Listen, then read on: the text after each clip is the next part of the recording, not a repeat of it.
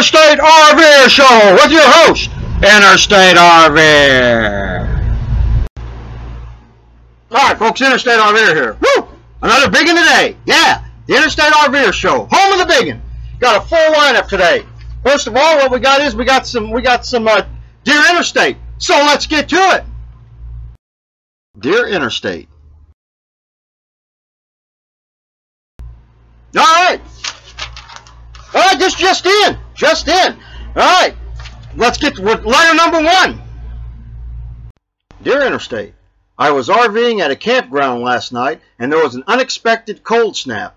Now my water hose is frozen stiff. What should I do? Terry P., Springfield, Missouri. Well, Terry, I don't know what to tell you. All I can tell you is, is that if your hose has been stiff for more than four hours, call your doctor. Alright, number two. Dear Interstate, my boyfriend's college fraternity won't accept him unless he posts a nude video of me on the internet.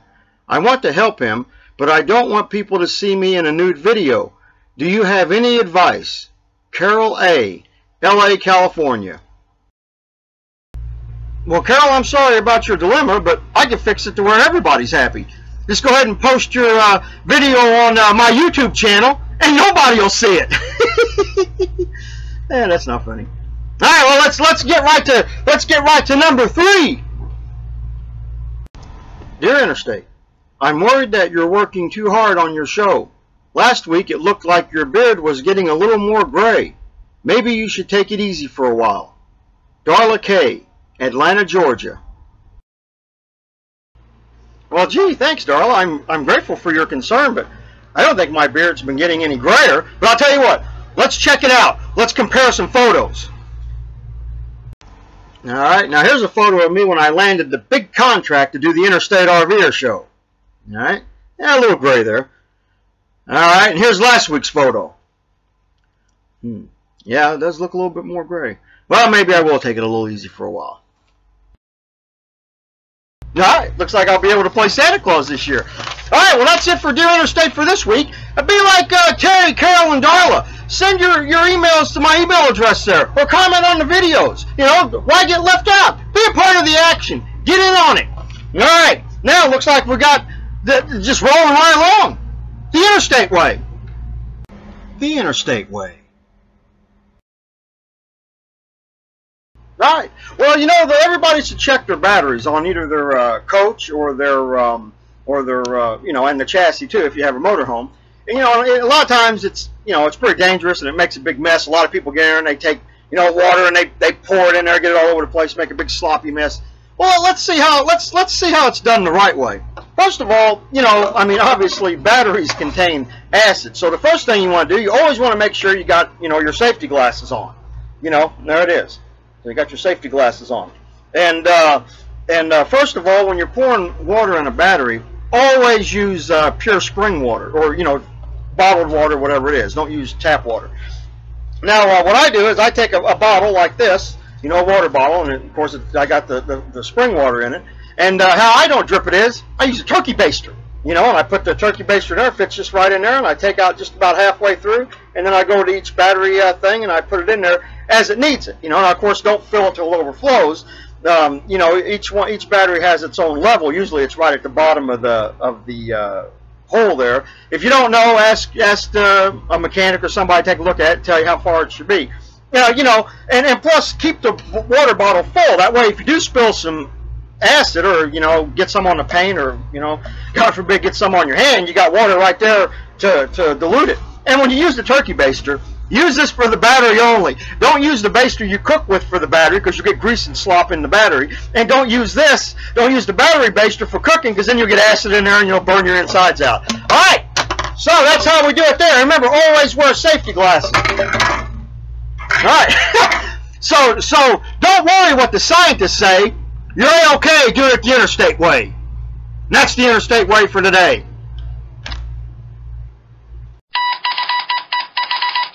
Interstate RVers News Update. Alright, big news for this week. I uh, got the brakes done, so I'm going to drive them around for, I drove them around for about 300 miles, which was about, I don't know, two days. I really did some driving uh, uh, this week. Drove around for a while. I'm going to see how they're, they're wearing in pretty good. I'm going to have them rechecked, make sure everything was uh, done good and, and, they're, and they're working right. Uh, the only, it looks like I got uh, uh, two, two things left. Uh, number one is my uh, uh, get my driver's license renewed. I may do that this week. Um, I don't know. I, I, probably will. I don't know. I may do that this week. And uh, the last thing is is that uh, I got a refund check, a, small refund check. I mean, like really small, but well, not too small. I mean, it was enough to, you know, it's a couple hundred dollars. It's enough to do my uh, the stuff I'm doing. You know, it's it's it's just from um, from some things I some coupons I had for I had a rebate on on the uh, on the, the parts that I that I got, and because uh, they were they were really expensive, so I got a I got a coupon for uh, uh so much off. So I got I got a nice uh, a nice uh, refund there because you know I had had a lot of parts, and you know I had a friend that helped me out and, and all that, and he kind of gave me a little a little extra boost there. But all right then. And that's that's the news for this week. And we're getting closer to, to leaving. We're getting closer to getting on the road. So stay tuned. All right. Now I guess there's no more. I guess there's no sense in uh, delaying it any further. Let's get the Joke O' of the day. Joke O' of the day. All right. Now you see, there's this guy. He, uh, he, he drives up. He's in this campground. He drives up in this uh, brand new motorhome, one of those five hundred thousand dollar jobs, you know, and uh, it's kind of a it's kind of a, a, a more a more run down motorhome. So you know, a lot of people in there don't have that that uh, good looking of a of a rig. So this one guy gets over there, and the guy gets out, and he's doing all the things with his uh, new motorhome, wiping it down, stuff like that. So this guy walks up to him, he goes. Is this your motorhome? And the guy goes, Yeah, sure is. He goes, he goes, I, he goes, I just got it a couple of days ago. And he goes, well, how'd you like to make a thousand dollars? And the guy goes, well, sure, I'd like to make a thousand dollars. What do I got to do? He goes, I'll tell you what. He goes, I'll, I'll make you a bet. He goes, let's go inside your new motorhome. He goes, I'll take this uh, this uh, pork and bean can that I got. He goes, I'll stand at the at the the cab. He goes, and you take this all the way back to the back. He goes, and I'll pee straight up in the air. He goes, and I'll get it all in that can and not spill one drop, not one drop on the floor of your motorhome. And the guy goes, man, I don't know about that, you know. And he goes, well, thousand dollars, you know. He goes, let's see the money. So the guy shows him the money. He goes, all right. He goes, I can make a payment with that. So he goes, he goes, I'll, uh, I'll do it. So he sets the can uh, down there at the end of the at the end of the long hallway, and the other guy stands up by the uh, by the the cab, and he starts peeing. Well, he pees everywhere except in the can. So this guy he comes out of the motorhome, he's just laughing like laughing like a hyena. He goes, man, he goes, that was the best. He goes, that was the easiest thousand dollars I ever made. He goes, how, how, how are you so stupid? And the guy goes, I'm not stupid at all. He goes, you see that guy over there at the end of the campground? I bet him two thousand dollars that I could pee on your brand new motorhome and make you laugh about it. all right, might want to remember that next time you go to campground. right. The Interstate RVer Show for this week. Remember, keep watching, subbing, and subscribing, and, and thank you all for for uh, for uh, all the all the plus ones and the subs and the uh, and the uh, uh, uh, you know the views and all that stuff. It's just it's just tremendous. Let's keep it going. Let's don't stop. So this is Interstate RVer. I'll see you next week, Toughies. And remember, a new show every Thursday. And if you're in the Interstate RVer Toughie Circle, it'll be before Thursday. So why miss out on the action? Get in on it. Right? This is Interstate Live Over and out.